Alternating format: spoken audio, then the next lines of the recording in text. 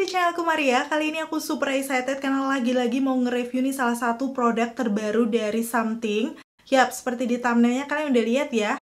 Yang pertama ini adalah uh, Something yang Holy Shield UV Watery Sunscreen Gel dengan SPF-nya 50 plus PA+++++.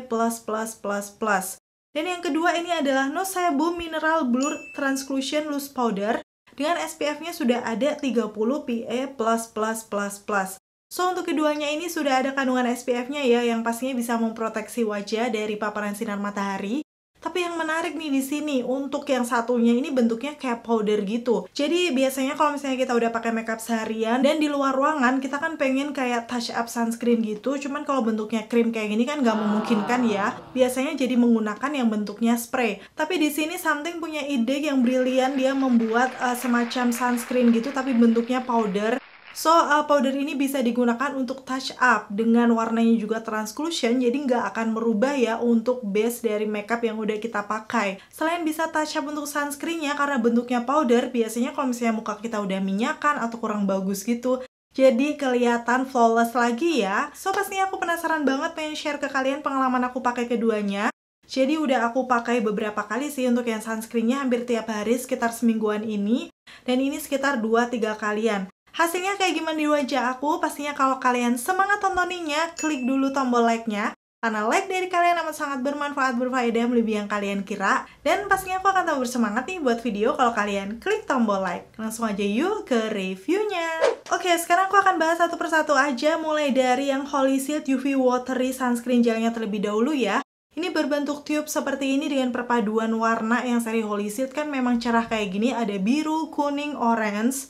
Begitu di bagian depannya, ini ada selain nama produknya tadi, uh, dia ngeklaim 5 kali advance protection. Jadi selain dia bisa melindungi dari sinar UV, UVB, yang kedua juga bisa melindungi dari polusi, udah gitu blue light, terus ini ER, kayaknya sih infrared, udah gitu non-comedogenic certified. Masih ditambah satu lagi 0% alkohol, ya bener-bener multifungsi ya untuk perlindungannya dalam satu sunscreen ini. Dan ini juga sudah menggunakan SPF yang cukup tinggi 50 plus PA++++. Kalian bisa lihat juga ada logo halal di sini dan di belakang juga sudah ada nomor BPOM, jadi pastinya aman ya buat dipakai. Udah gitu untuk bagian belakang detailnya sih ada kayak um, fungsinya, cara pemakaiannya, ingredients dan keterangan lain-lain kalian bisa langsung lihat aja detailnya di situ. Dan ada expired date-nya nih sampai di tahun 2025. Tapi biasanya kalau untuk model krim kayak gini sih 6 bulan sampai 1 tahunan. Cuman di sini kayaknya nggak ada uh, setelah dibuka ya maksud aku. Tapi kalau misalnya belum dibuka sih bisa bertahan sampai di tahun expired date ini. Terus untuk netonya ada 50 gram. Kemarin aku beli di official store. Bentar aku cek dulu. Sekarang sih harganya jadi 125 ribuan. Kemarin kayaknya lagi ada diskon jadi 100 berapa gitu.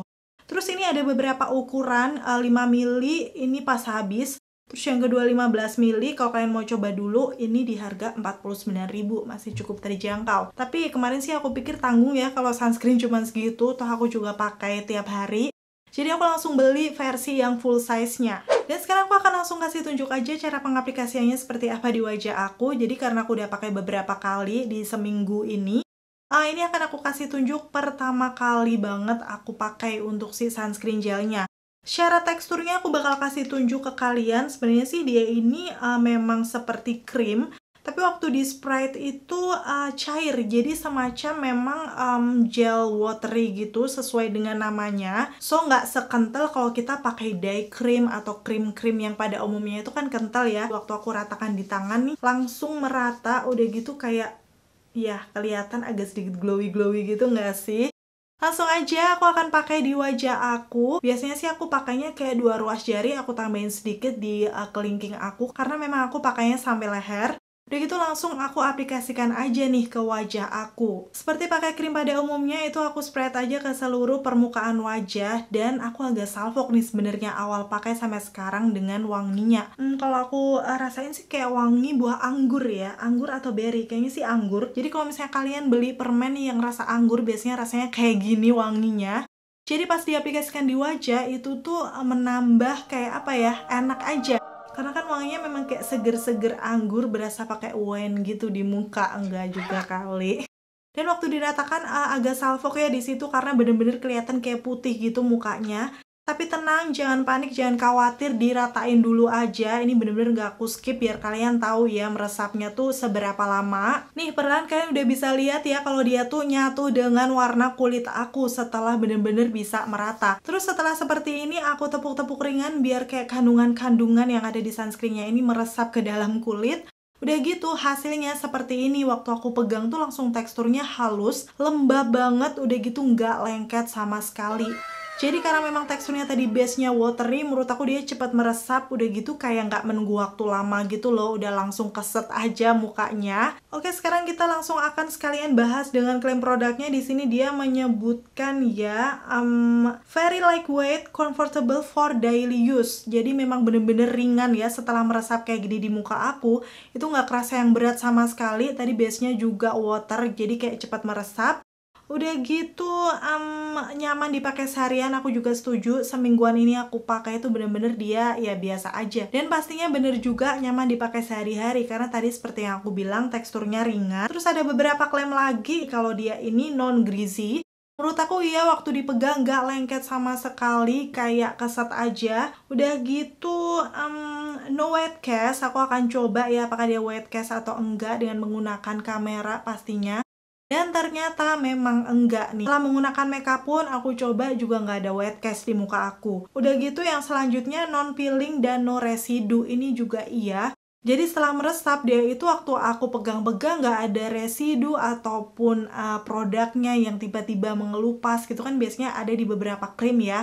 Tapi untuk yang um, Holy Seed UV Watery Sunscreen Gel by Something ini nggak sama sekali, kayak langsung udah nggak ada ngeresep ke kulit. Oh ya tadi yang aku juga lupa bilang memang ini sesuai dengan klaimnya ada cooling sensation waktu awal pengaplikasian tuh rasanya adem yang seger gitu loh. Kayak misalnya kita cuci muka pakai air kan seger ya ini juga kayak gitu walaupun ini teksturnya ada creaminya sih. Oke itu tadi untuk sunscreennya dan sekarang aku akan kembali nih ke pertama kali aku coba sunscreennya. Di hari itu aku sekalian nyobain si Holy Shield No Mineral Blue Transclusion Loose Powder SPF 30 PA++++. Yang pasti ini fungsinya sebenarnya untuk kayak semacam touch up sunscreen dalam bentuk powder gitu. Tapi yang pertama kemarin aku pakai di atas foundation terlebih dahulu karena memang waktu itu kan aku lagi tes foundation. Gak mungkin aku touch up di tengah-tengah jadi hasilnya kan kurang uh, maksimal ya. So nanti aku akan kasih tunjuk di beda hari aku akan coba touch up menggunakan si loose powdernya ini. Untuk dari detail packagingnya nih kalian bisa lihat dia masih holy seed banget perpaduan warna orange dan juga biru. Di bawahnya uh, bening kayak gini jadi kita langsung bisa lihat untuk warna dari bedaknya. Walaupun ini sebenarnya finishnya translucent ya, tapi bedaknya tuh kayak coklat-coklat gitu warnanya. Waktu aku buka nih di layer pertama langsung kelihatan ada puffnya yang bentuknya lucu ya kayak bulat seperti ini. Terus kalau misalnya aku buka lagi nih, di dalamnya ada kayak penutup bedaknya gitu. Dan sepertinya sih kalau mau dipakai penutupnya harus diambil. Barulah ini dipasang lagi ya, karena di bagian dalam ada lubang-lubang kayak gini. Ini biar bedaknya nanti bisa menyerap ke puff atasnya. Terus langsung aja akan aku coba aplikasikan di wajah aku yang sudah ada foundation. Di situ aku tap-tap aja menggunakan puffnya ini dan ternyata karena kan puffnya juga kecil ya. So kayak uh, lama gitu kalau misalnya kita pengen set bedaknya um, hasilnya juga jadi tipis-tipis gitu di muka karena memang sesuai dengan fungsinya tadi ini untuk touch up. Jadi aku nggak sabar langsung aku buka aja bedaknya dan aku tap-tap menggunakan puff bedak aku yang ini yang segitiga. Jadi kayak lebih cepet aja dan bener-bener bedaknya bisa ngeset di wajah. Terus uh, setelahnya aku swipe-swipe menggunakan brush biar hasilnya tetap natural dan seperti ini. Menurut aku finishnya memang bener sesuai dengan namanya, transclusion. Tadi awalnya kan uh, base foundation aku kayak gini. Setelah dikasih bedak dia nggak menambah warna sih, kayak cuman ngeset aja.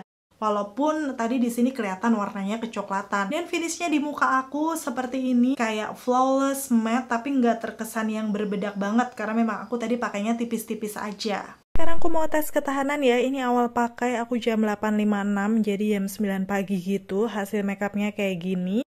No highlighter, no setting powder ya, jadi ini murni foundation dan bedak aja.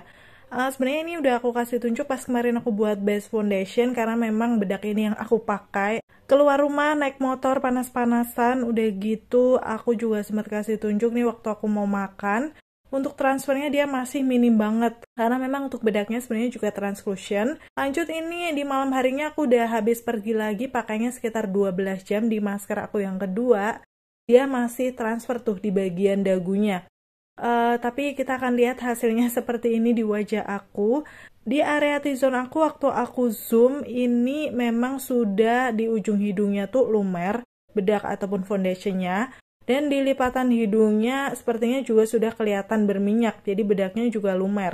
Ini di area sekitaran dagu aku, fondi dan bedaknya juga sudah lumer. Kelihatan ada bekas jerawatnya gitu. Tapi di area selain T-zone, coveragenya masih cukup oke okay tuh. Nggak cuman fondinya, itu kayak masih ada bedaknya gitu. Dan di area bawah mataku juga tidak kering. Overall sih ini digabungkan dengan uh, bedak foundation di area T-zone aja yang kelihatan berminyak tapi di area lain masih cukup oke okay ya di pemakaian 12 jam. So ini memang bedaknya kalau untuk nge-set foundation cukup tahan lama ya mengontrol minyak.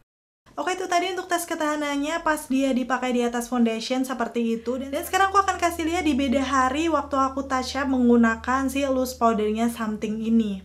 Jadi uh, di sini kondisinya memang cukup panas. Aku lagi pergi ya, dan aku pengen touch up uh, muka aku dengan menggunakan itu tadi si powdernya. Terus ini aku buka maskernya, di situ kelihatan tuh nggak transfer karena memang bedaknya ini aku pakai menggunakan concealer. Aku set menggunakan face mist, udah gitu baiknya sih ini tadi di tap dulu menggunakan tisu biar kayak kotoran debunya tuh hilang, barulah di tap-tap nih menggunakan si bedaknya. Kayak di touch up, di area seluruh permukaan wajah, pokoknya di area yang kalian pengen aja sih. Tapi biasanya kalau aku semuanya, kelihatan ya di situ muka aku udah kayak lebih matte gitu daripada sebelumnya. Padahal tadi di sekitaran T-zone udah kayak agak berkilau gitu. Aku akan kasih tunjuk nih before afternya, tapi di before-nya memang aku tadi nggak yang bener-bener zoom banget, tapi udah kelihatan di situ tuh hidung aku agak cukup kilo-kilo minyak gitu ya. Di dahi aku juga kayak gitu.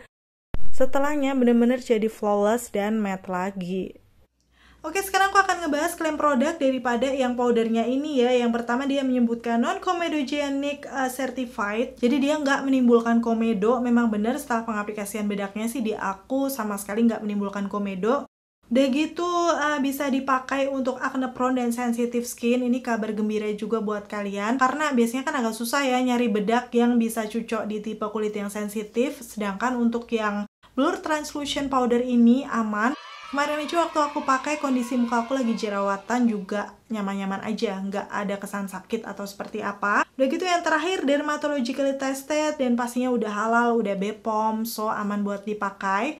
Untuk detail ingredientsnya, walaupun kecil banget, aku akan coba kasih lihat ke kalian ya di situ. Karena memang di packagingnya nggak ada banyak klaim, akhirnya aku mencoba nih buka di official store Shopee-nya tuh ada beberapa klaimnya di sini. Um, dia sudah ada SPF 30 PA++, pastinya bisa melindungi kulit dari paparan sinar UV dan UVB, itu bener banget. Udah gitu, easy to use, travel friendly, dan tidak berantakan. Jadi gampang dipakainya, bisa dibawa-bawa karena memang ini kecil. Menurut aku memang praktis dan gampang digunakan. Itu memang iya ya, kalau untuk touch up, bener-bener dia itu cuma dibuka aja tutupnya, terus di tap-tap di area-area yang pengen kalian touch up sunscreennya sama sekali dia nggak merubah warna dari makeup kalian, udah gitu hasilnya menambah flawless dan gampang pakainya. Cuman kalau misalnya kalian mau pakai di atas foundation kayak aku tadi, itu kayak lama banget gitu. Terus kayak nggak mantep gitu loh, beneran udah ngeset belum sih? Karena kan bawahnya itu best bener-bener liquid foundation. Jadi kalau aku biasanya dibuka dan dipakain puff, seperti tadi yang aku kasih tunjuk itu kayak hasilnya akan lebih uh, mantep sih menurut aku. Terus selanjutnya dia menyebutkan cocok untuk semua warna kulit, memang bener karena dia translucent, jadi dia akan menyesuaikan aja dengan warna asli kulit kita. Dan yang terakhir dapat digunakan sebagai setting powder atau makeup touch up. Ya, bener. Tadi berarti aku udah bener ya pakai dia sebagai setting powder setelah aku menggunakan foundation. Hasilnya tadi dia juga memang bisa ngeset dengan bagus, finishnya matte tapi nggak yang bener-bener uh, powdery banget kayak masih natural, tapi aku nggak tahu dengan foundation lain seperti apa ya. Mungkin kalau kalian udah aplikasikan dengan foundation lain, hasilnya kayak gimana di kalian, kalian bisa sharing dengan komen-komen di bawah. So, kesimpulannya di sini yang pertama untuk Holy UV Watery Sunscreen Gel ini aku suka banget dan merekomendasikan. Kalau kalian lagi cari sunscreen dengan tekstur yang dia watery gel, cepat meresap ke kulit, udah gitu wanginya enak banget kayak wangi-wangi anggur gitu, aku suka masih ditambah uh, finishnya di muka aku aku juga suka karena dia tuh matte tapi kayak kesannya agak glowy jadi matte yang natural, healthy skin fresh gitu di wajah aku. Udah gitu perlindungannya juga komplit banget. Selain UVA UVB, dia ini juga bisa melindungi dari polusi, blue light, infrared, dan juga non-comedogenic certified. Masih ditambah tadi 0% alkohol, jadi aku rasa bisa cocok juga nggak sih di kulit kalian yang sensitif. Kalau kulit kalian sensitif, udah cobain sunscreen ini, kalian bisa sharing juga ya dengan komen-komen di bawah. Terus yang kedua untuk uh, mineral blur translusion powdernya sih buat aku sebenarnya aku suka kalau untuk touch up ya karena tadi bener-bener praktis banget di mana pun kapan pun kalian bisa karena kan ini kecil banget ya gak riwah juga bawahnya dimasukin tas nggak bakal menu-menuhin karena sekecil ini Terus hasilnya juga ngebuat makeup kayak lebih flawless aja. So memang multifungsi banget untuk powdernya selain dia bisa untuk touch up sunscreen, untuk setting powder juga dan nge-touch up makeup kalian. Karena memang dia terbukti setelah dipakai lama, oil controlnya juga cukup bagus ya. Cocok buat kalian yang punya tipe kulit berminyak. Dan itu tadi ya untuk review dua produk something yang terbaru. Semoga informasinya bisa bermanfaat dan membantu buat kalian. Kalau kalian udah pakai nih salah satunya atau dua-duanya, kalian bisa sharing dengan komen-komen di bawah biar teman-teman yang lain juga tahu ya. Terima kasih buat kalian yang udah selalu nonton videoku sampai akhir. Kalau kalian suka pastiin untuk klik tombol like. Dan sampai ketemu lagi. Bye!